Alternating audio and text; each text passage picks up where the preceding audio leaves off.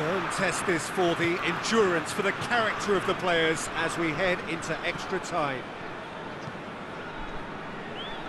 Arias goes looking. A long ball, but not especially accurate.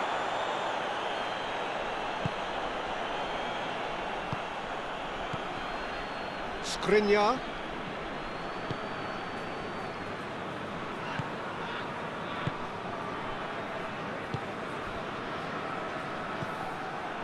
Muriel. Cuadrado. Forward it goes. Cleared away.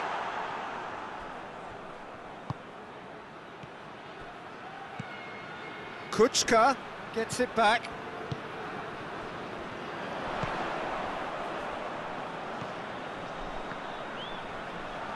Great strength, too strong for his opponent. Oh, super tackle. They were outnumbered and under the cosh. That had to be spot on, and it was.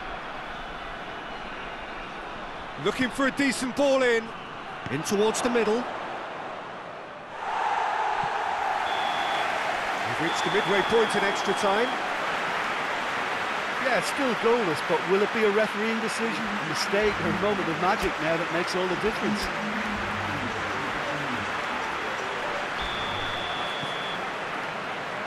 And we're off for the final time. Here we go then for the last time. The score still nil-nil.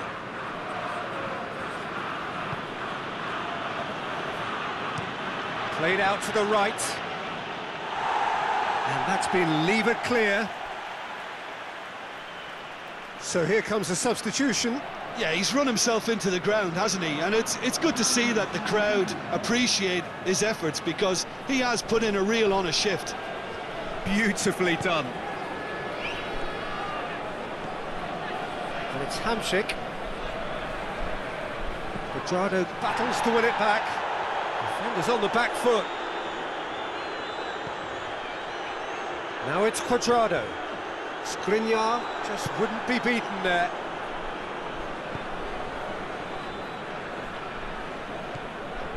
Kucka.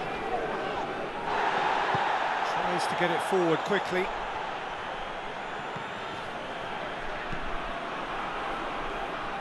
Well, both sides might have to settle for a draw here, although there's still a chance for one last fling.